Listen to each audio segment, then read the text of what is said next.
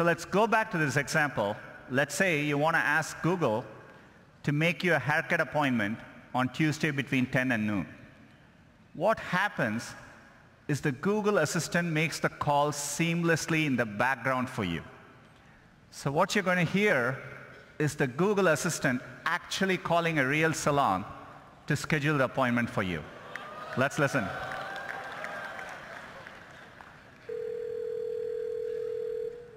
How can I help you? Hi, I'm calling to book a women's haircut for a client. Um, I'm looking for something on May 3rd. Sure, give me one second. Mm-hmm.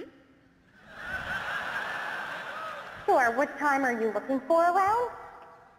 At 12 p.m. We do not have a 12 p.m. available. The closest we have to that is a 1.15. Do you have anything between 10 a.m. and uh, 12 p.m.? Depending on what service she would like. What service is she looking for? Just a woman's haircut for now. Okay, we have a 10 o'clock. 10 a.m. is fine. Okay, what's her first name? The first name is Lisa. Okay, perfect. So I will see Lisa at 10 o'clock on May 3rd. Okay, great. Thanks. Great. Have a great day. Bye.